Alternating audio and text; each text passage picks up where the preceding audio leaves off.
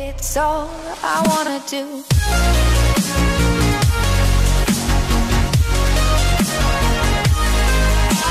Hello everyone, welcome back to another video here today on my channel with me, Revamp Gaming, and today I'm just going to be slightly going over the Xbox E3 conference. Now, I didn't actually watch it all, uh, in fact, I didn't actually watch most of it. I just managed to grab like the last five minutes of it.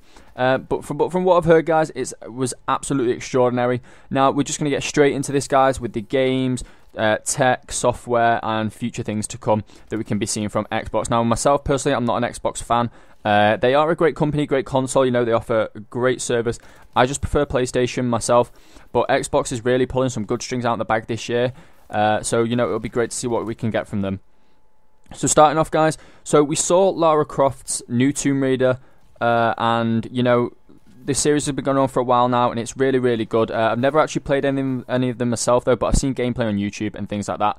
Uh, we saw a load of other games, uh, Gears 4, uh, and a lot of other stuff. Like I say, I didn't really watch it, also I can't really comment on it. But what from what I've heard and seen, uh, it's absolutely epic, and you can see some of the images on screen now. So now, guys, going on to the next game, uh, which also ties in with a piece of tech, is Minecraft. Now, yeah, you're thinking Minecraft's already out, but no, guys, it's not. Microsoft are developing a new uh, uh Minecraft game, which is available with a new piece of tech called the HoloLens.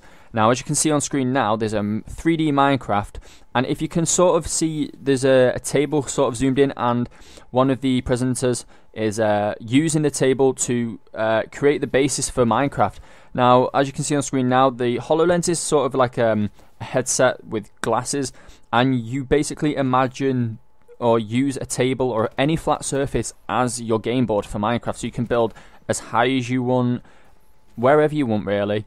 Uh, and you know, here's another image now. Obviously, this one I'm not sure if it is too real or if it's just been photoshopped or to show sort of what can happen and what you can do. But either way, this looks really, really good. And you know, this is definitely one. And this is going to cost an absolute fortune. But you know, people who really want it and it's going to be will get it, and it's definitely going to be worth the money, guys.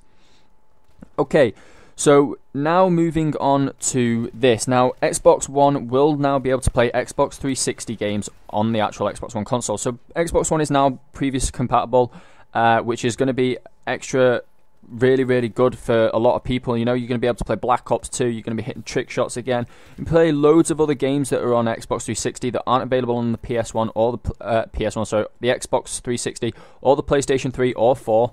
Uh, so this is going to be really good, guys, and you know this is just going to be absolutely amazing. You can play them through via disc and digitally off the Xbox Live Marketplace.